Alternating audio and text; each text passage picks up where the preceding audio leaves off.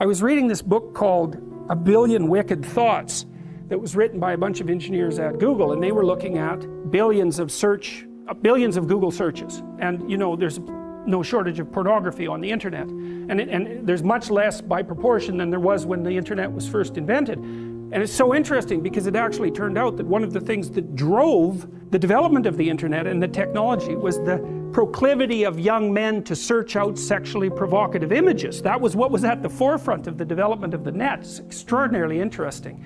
They were motivated to use it for that purpose, and that provided the platform from which it emerged. Amazing. Anyways, the Google engineers looked at pornographic search processes and then segregated male searches from female searches and what they found was that the males searched out images surprise surprise no one no one considers that you know, particularly interesting, but the females searched out literary representations of pornography. It was written.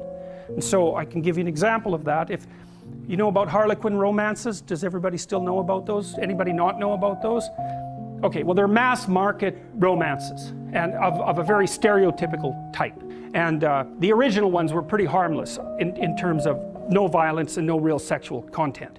But that was 40 years ago, and they've differentiated tremendously, and now there's hardcore Harlequin romances, and with particularly garish covers, and then there's the old, you know, more tame, basic, sexless and aggressionless romances where everything is implied and not explicit, but the explicit ones exist.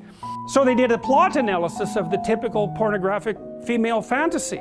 Well, and they discovered things that way. And so they discovered the basic plot of the female pornographic literary product. And they identified, so basically what happened was that a innocent, well-meaning, and attractive young woman encounters a male who's a bit of a monster. And the monster, there's five types of classic male monster. For all you males who want to know, this is what you can become. Vampire, that's a good one. Werewolf, billionaire, pirate, and surgeon. Okay, so that's very interesting because, well, first of all, there's a dominance thing. There's a, now you're actually blushing, you know, you're actually blushing about that. That's very, very funny.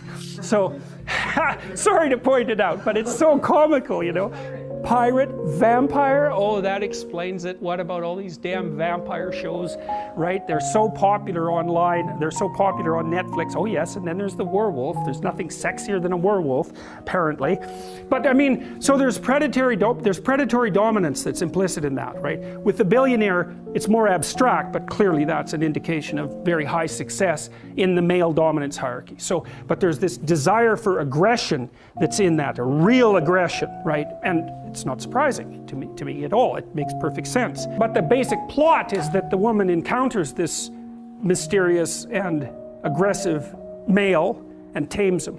That's the female hero myth, as far as I can tell. It's Beauty and the Beast. And so it's because, well, there's no fun in taming someone who's already tame. And what makes you think you really want someone who's tame anyways? There's no interest in that.